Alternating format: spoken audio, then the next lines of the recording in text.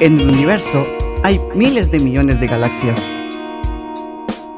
En nuestra galaxia hay miles de millones de planetas. Pero solo hay una Tierra.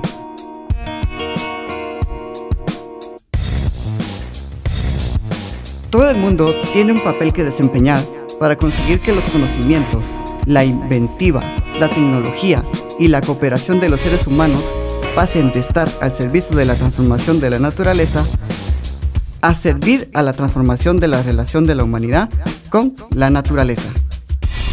La gobernanza policéntrica es la clave para que la gente pueda expresarse y actuar de un modo responsable desde el punto de vista ambiental, sin dificultades ni sacrificios personales indebidos.